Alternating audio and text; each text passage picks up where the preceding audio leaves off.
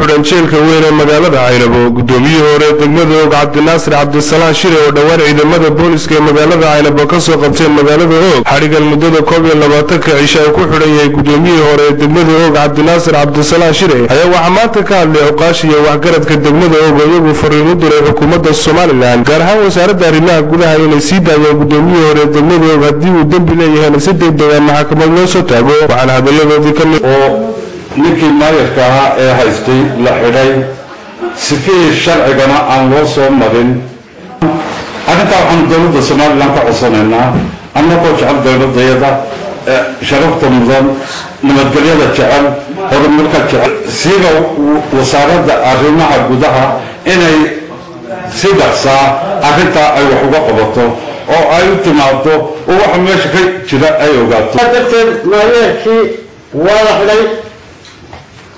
sagalooliyihiisii wax ka duugayay labadaba waa la xidhay iyadoo sifo sharci daraa lagu xidhay.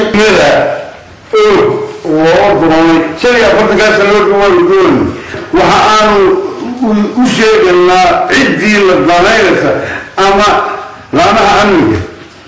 In ama nabadgelyada in ay nala eegaan oo haddii ay internet tahayna dee ka joojiyo waxaan codsanaynaa. Anoo ku hadlaya.